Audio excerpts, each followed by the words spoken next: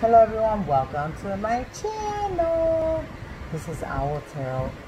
Uh, before we get started guys, this reading is meant for my Aquarius, Sun, Moon, Rising, Venus signs. Aquarius, we are tapping into the person that you are currently in separation with, the person that you are thinking at this moment about, the person that you want to reconcile with, communicate with, sorry about that guys. Uh, the person that you want reconciliation with the person you want to reconcile with the person that you are currently thinking about. What's happening to your person's energy at the moment.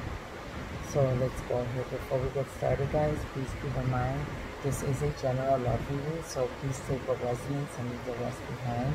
Also keep in mind that there is no gender in tarot so please take the rules and reverse them as need be one last and final time guys we all know that time is fluid so this could have already happened. It's currently happening or getting ready to happen and please please please please please don't forget to, to like and subscribe okay guys?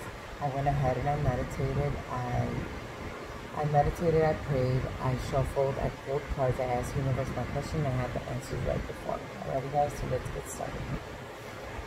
Alrighty guys, your person is asking you to release your ex not release them, but release the way that they were. That's what I'm getting out of this. Your person is asking for you to release the negative thoughts about them, to release the way that they look at to release anything and everything that they have done to you, or to you. Um, I apologize.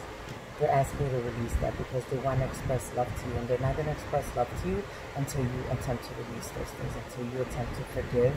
Obviously, you will never forget, but you're gonna. They want you to forgive because they want to express love to you. They want to come in this flirty vibe. They want to come in and show you that to them you are the sexiest, most passionate person that they've ever met, and this is the way they want to flirt with you guys, okay? Your person's current mind state with the page, uh, oh, I'm sorry, with the tarot is the page of water. They want to offer an apology.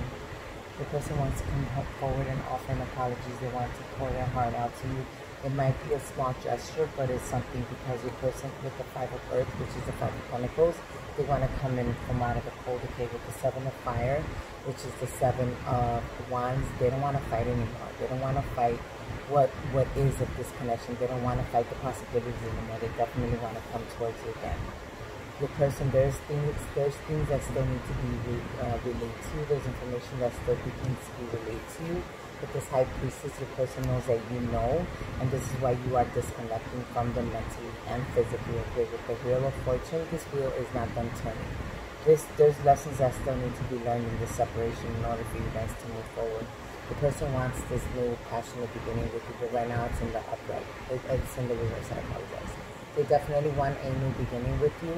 They want a passionate new beginning with you, but with the Queen of Fire, I think that in the back of your mind, you think that there's other people in the connection, other people fucking everything up. This is why you're in your nine of air, which is the nine of swords stops.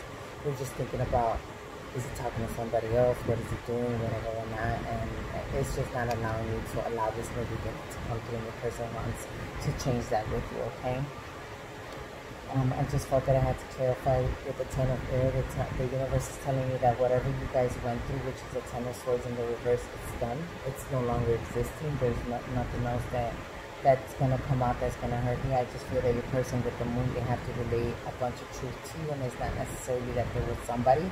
It's just the fact that they're trying to relay information towards you. With this Page of Fire, the person was being reckless at one point with their passion. They were just putting in passion to things that no longer serve them, but they don't want to do that anymore. With the hangman, they're definitely stuck in their thoughts here, they're stuck in their mind, and they want to get out of that again, stuck in their thoughts, stuck in their mind with the hermit.